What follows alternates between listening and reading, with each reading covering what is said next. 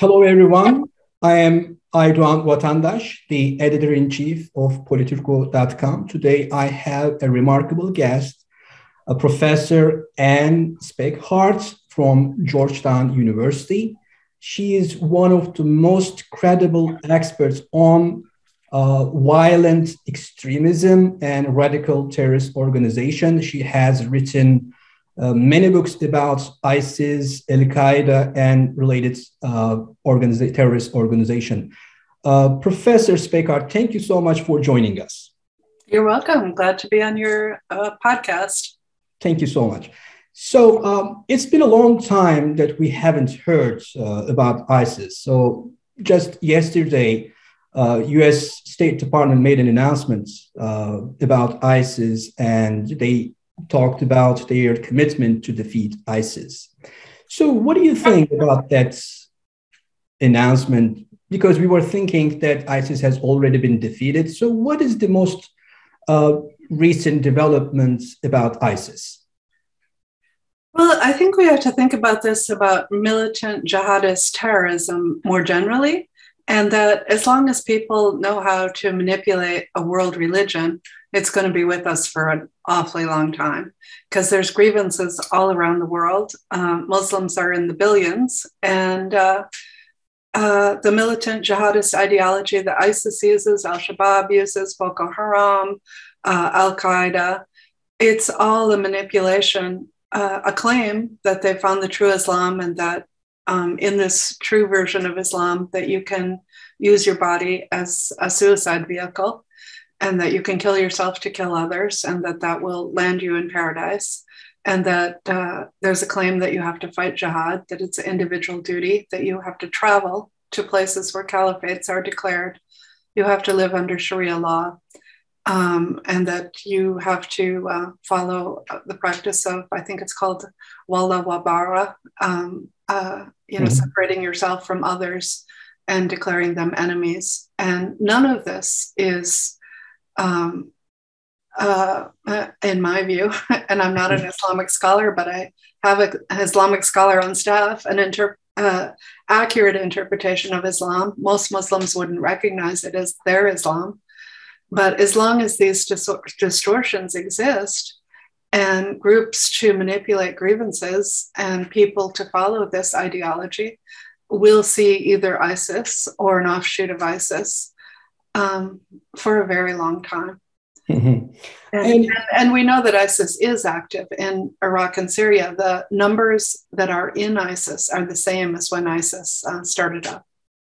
So, are they still recruiting people from different parts of the world? Are they still successful on this? On this? Some people still travel to Syria, but um, most do not.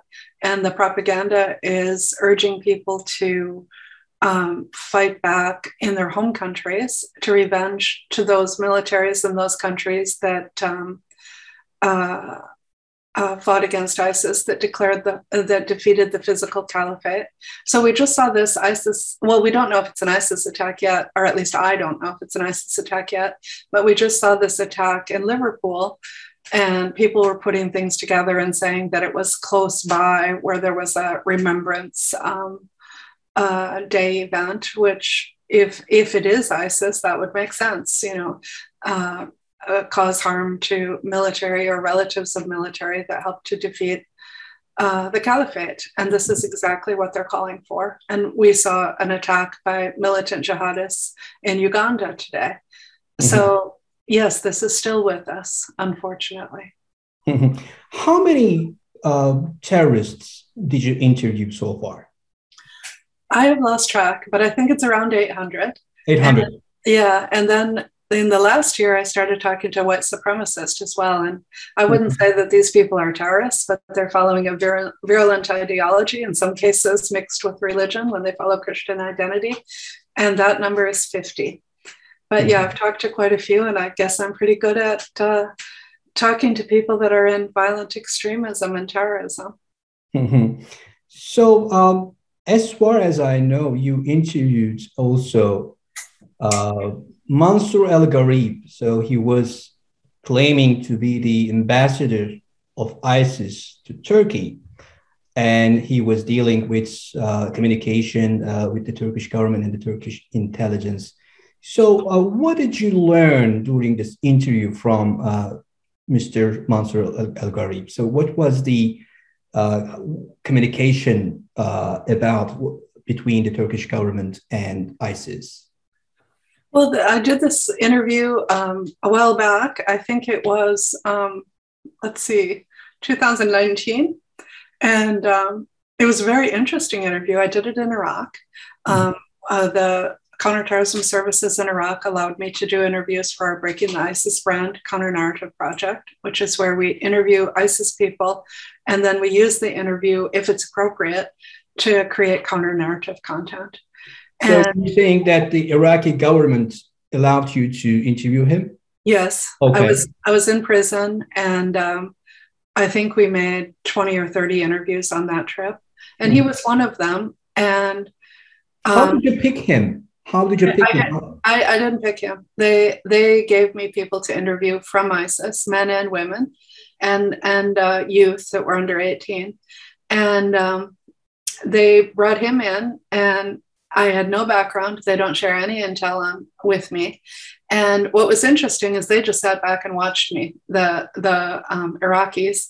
And uh, I think sometimes I find this with uh, security services that allow me into the prisons that they kind of like to watch what I do and you know maybe learn a different method because they're interrogators and I'm not an interrogator.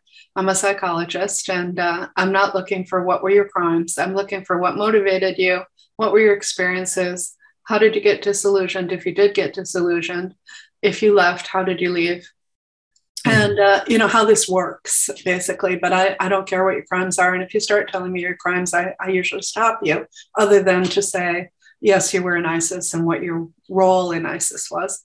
Um, in his case um, he sat down and started telling me about that um, he had come from morocco that he had been following um, Al Qaeda jihadi, jihadist ideology and groups on the internet for quite a long time, and always dreaming of uh, the groups coming together to form some kind of caliphate, and that the brothers had decided that the time was right, that Syria was the right place and time, and the brothers had gone ahead of him from Egypt from this internet group. And so he decided to make the jump. He went too, and expecting it to be uh, uh, utopia and that they were going to build something good and beautiful and they were going to protect the Syrian people from Assad. And uh, he told me that his job was doing intakes, so that he um, was on the border and he did intakes.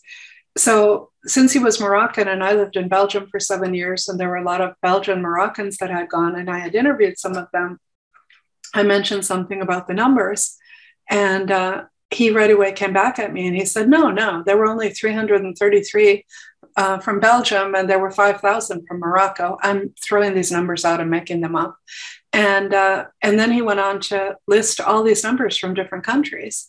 And I said, wait a minute, you weren't just an intake guy and you didn't just have one place on the border. You sound like you know the whole border. And he goes, oh, well, I moved up and I became in charge of the whole border. And I said, okay. And he continued to tell me facts that only an Emir would know. So then I said, no, no, no, you weren't an ordinary ISIS guy, you were an Emir. And he started laughing.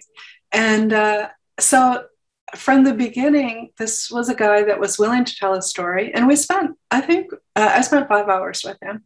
And we spent maybe an hour and a half talking about all the background in Morocco, what his dreams were, how he was thinking as a jihadist supporter, a jihadist dreamer, and how he finally made that move to. To jump on a plane and go somewhere to be in jihad, and what he expected it to be and what it actually was. Um, so, he he wasn't sitting down saying, I was an emir, I negotiated these things with Turkey. It came out slowly, slowly over five hours. And he just kind of laughed, chagrined when I figured out he was an emir. He was like, Yeah, I was an emir. And you know, it wasn't like he wanted to brag. So this made it more believable actually for me. And the other thing that made him believable to me is that the Iraqi guys laughed afterwards. I said, Wow, that was quite an interview. And thank you for letting me sit with him for five hours. Um, and they said, Yeah, we thought you'd like that one. And um, oh, we're glad you figured out who he really was. And they said, We think he's very cooperative and um, and we consider him extremely credible. So, From, are you are you saying that Iraqi government uh, also knew his connections with the Turkish government? Probably. Um, I, I, don't know because don't know they they interrogate um, people on their own, and I'm not privy mm. to that. And I don't ask for their intel. I do my own interviews. Okay. But so what, did you learn? what did you learn from that interview? So what was yeah. doing? I'll, I'll tell you. Yeah, I'll tell you. But first, I would just want to clarify that they listened to the entire interview and they heard all the relationship with the Turks, and they said that he was very credible, that they trusted him, that he had cooperated, um, that they thought everything he said was true. So I didn't say, Did you also get this in your interview? Um, I don't ask those kind of questions because that's mm-hmm. not my place. Uh, it would be two interrogators talking to each other, and I'm not an interrogator. But what he said about the Turkish government is that as he started talking about the border, I asked him, Did people leave to go into Turkey to get medical care? And he said, Oh, yes, we arranged that with the Turks. So we had um, uh, arrangements with the Turkish intelligence. And we would call them if we had somebody that we wanted to send across the border, and they would arrange for an ambulance to meet our guy. And, you know, so he would have the border crossing arranged and the ambulance to take him to a hospital. And he said, I, we frequently had meetings either on the Syrian side or on the Turkish side um, with it's MIT, isn't it? Um, with MIT, and mm-hmm. um, we would um, uh, negotiate. he said one of the things that they were getting concerned about was that as time went on, people around the world were starting to understand this whole flow of people going into 40,000 people from 110 countries going into Syria to join all the groups was going through Turkey. So they said, if if your people are Moroccans from Belgium or Turks from Belgium or uh, Turks from Germany, uh, they can cross the normal border, no problem, during the day because people that see that from the outside, uh, you know, drone, uh, however they would surveil it, would legitimately think those were Syrians crossing the border. But if they're white guys um, and they don't look Syrian, they need to cross at night and they need to cross in small groups. So they work that out. And that was for Turkey to not look complicit in the foreign fighters coming in. Um, he also said um, that the Turks had shut down the water flow into, um, I think it's the Euphrates. Is it the Euphrates? I don't remember. Yes. Um, that uh, would be in the Tabqa Dam, and the Tabqa Dam um, provides the electricity. And um, so they needed the water to be um, opened up again, and he negotiated water levels with the Turks. He mm-hmm. said at one point that he was in Ankara, and they told him that he would meet President Erdogan. And uh, I have to say that is one of the times when I got kind of flipped out in an interview because I have many times been in Ankara and spoken at the NATO Center of Excellence. And uh, I just kind of lost it for a few minutes and said, what hotel did you stay at? Because I was imagining, you know, could I have stayed at the same hotel as this guy when he was in ISIS? And um, he laughed and he said, no, no, I was in a, um, I think he said a MIT safe house or a military safe house, but he wasn't in a hotel. And he didn't meet Erdogan, but he mm-hmm. he was told that he would. Let's see, what else did they negotiate? Um, it's all in the paper that we've written, and I didn't pull that up to look at. Let me see. Um, I don't remember what else. Anything about the weapons, oil, trade? He said weapons they didn't need um, to to um, get from.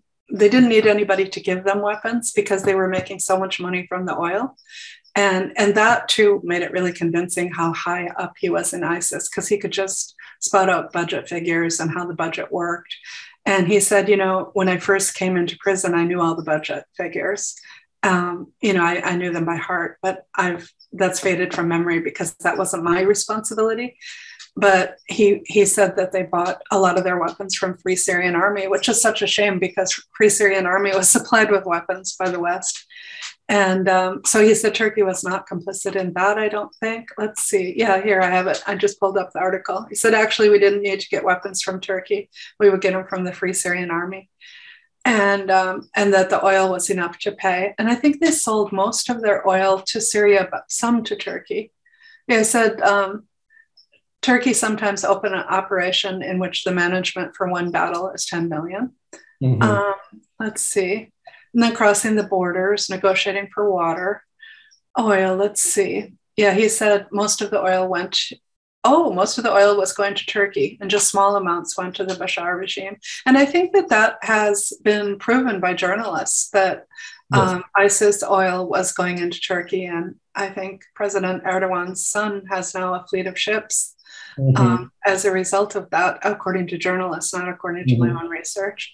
But um, this Abu Mansour was confirming that that, that was um, uh, the market for oil. Mm-hmm. And um, let's see. Uh, oh, and they negotiated. They negotiated for the release of the Turkish diplomats and the mm-hmm. soldiers mm-hmm. and citizens.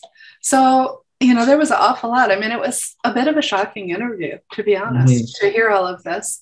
And then you also have a Turk that um, was an emir that's still in Syrian prison, and I interviewed him as well. And he was one of the guys that traveled with Abu Mansour. I, I interviewed him before I interviewed Abu Mansour, so I couldn't go back and check with him, but he was saying similar things. But he he didn't tell me about all these negotiations with the Turks because I did I didn't know to ask. And you know, sometimes they'll hold things back that if you don't ask them. And I'm not someone that asks a lot of um, mm-hmm. criminal type questions. ISIS also uh, claimed some attacks in Turkey in these years in uh, between uh, two, I think it was in 2017 or between 2017 and 19, uh, 2019 and he says that it was actually uh, uh, connections in ISIS who were doing these things.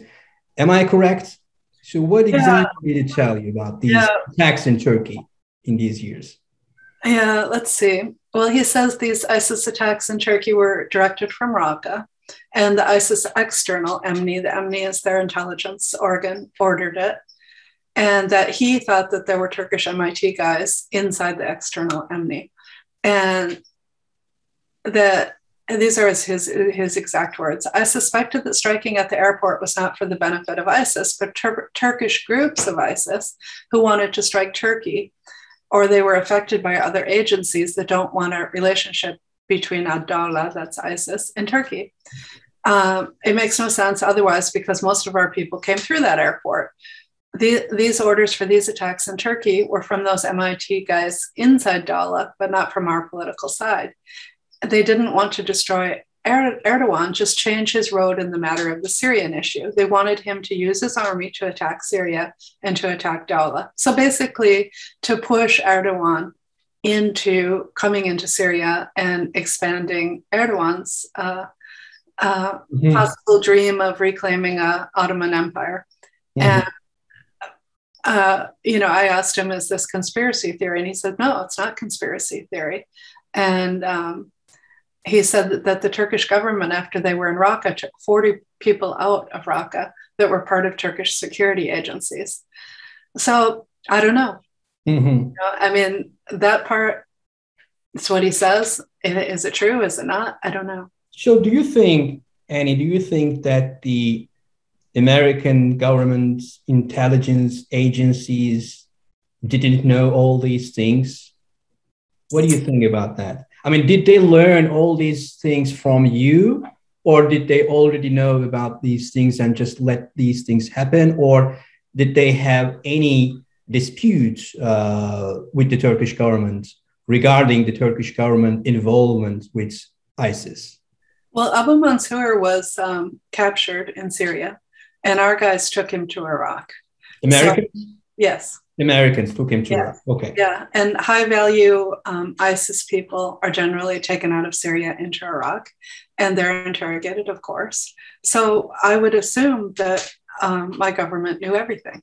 Mm-hmm. Um, so this isn't news. And then the reason that I was able to um, interview Abu Mansour, that he was available in CTS, because CTS takes people off the um, the battleground and holds them for a while and then they go to justice ministry and once they've been processed through justice ministry they're held in a different facility under a different authority.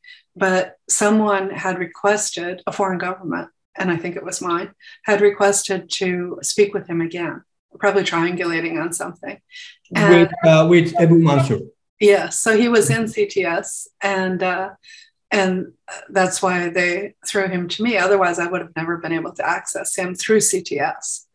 And um, so I don't know. But again, those are questions that I don't ask because it's not my business. I'm not an interrogator. I'm not, you know, chasing the crimes down. Um, I'm just trying to figure out how did this organization work and how did they recruit? You know, how did why did people respond to them the way they did, and what could we do about it? But you know, you find out all kinds of things you didn't ask. And um, so yes, I think the Americans know.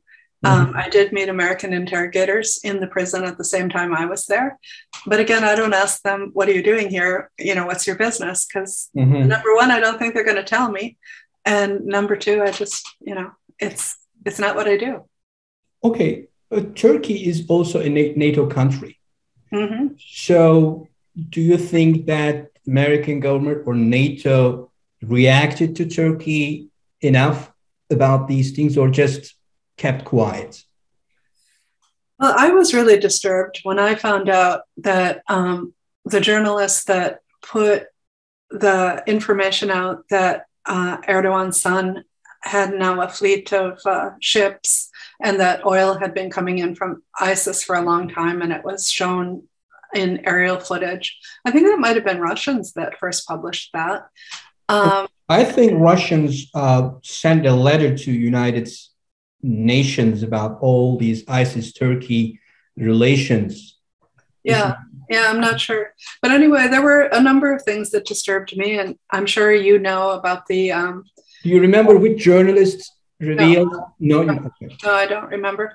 But uh, and then you also had um, when the um, police discovered what the military were doing, bringing in uh, weapons uh, hidden underneath uh, medicine in trucks, and it was a big uh, mess. And that was, uh, you know, a lot of accusations that that was Gulen behind that.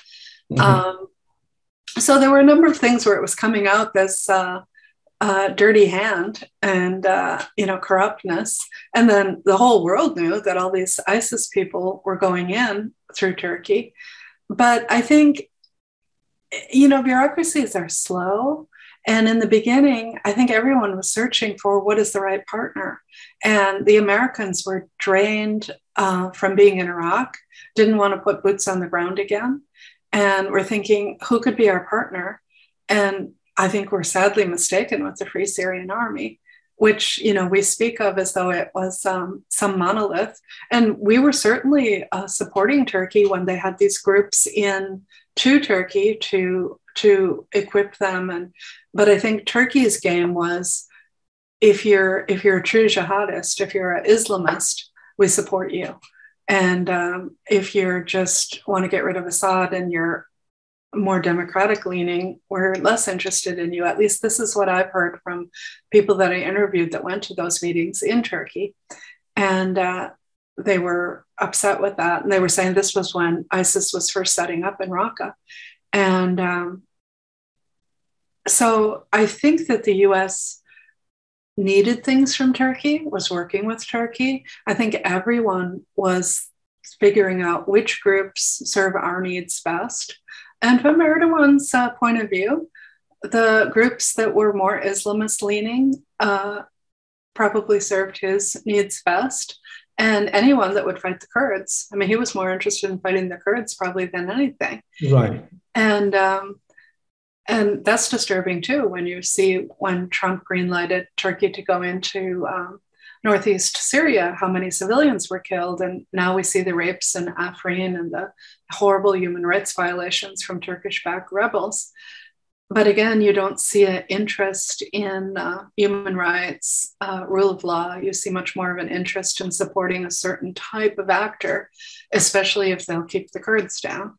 And I, I, you'll never convince me that every Kurd walking is a terrorist. I mean, I'm sure there are Kurdish terrorists, mm-hmm. but um, the ones in northeast Syria, the SDF, seem like they've, you know, really partnered with the U.S. and uh, uh, tried to take a stance of, you know, we'll do self defense, but, you know, mm-hmm. we're not, we're willing to step away from the PKK to be our own entity. Right.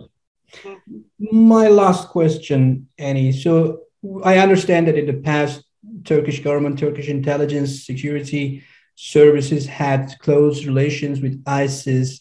But is it still that close? Is it, is it still going on? Or they distanced themselves from ISIS?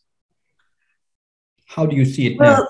I think we have to see everybody on a spectrum. I know of one case, I can't quote the name to you, but I know of the case of someone that came back to the Netherlands and he was being prosecuted for being in ISIS and was going to be put in prison. And one of the things that he said in his defense case was, um, oh, I, I don't think he was in ISIS. I think he was a foreign fighter. And he said, the group that I was in, you supplied weapons to.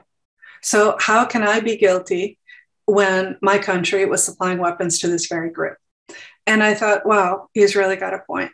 And we see the spectrum with every country that wanted to fight against Assad and that ultimately joined the fight against ISIS, that you see this struggling for who's the right partner and making a lot of mistakes. So my country made a lot of mistakes. Everybody made a lot of mistakes. And we didn't, well, I believe we got the good partner when we partnered with the SDF because, uh, you know, when Kobani was uh, attacked, the Kurds organized and uh, made a really brave fight. And they were willing to be our boots on the ground for our air service. But Turkey did enter the fight to fight ISIS. And, um, mm-hmm. and they did a good job of it. Mm-hmm. Uh, they took over Manbij and um, they've done an incredible job. But then we get these mixed messages when they've helped people get out of Camp Al Hol illegally, mm-hmm. uh, uh, when they've uh, backed uh, Turkish rebels that uh, some of them are former ISIS members.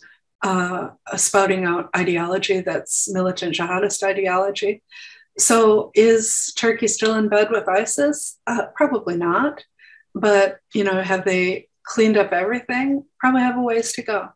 Mm-hmm. and and i hope they they go the whole way but mm-hmm. all of our countries made mistakes. Right right.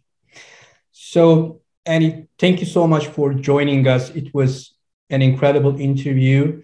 Thank you. You're welcome. Nice to meet you. Bye-bye. Bye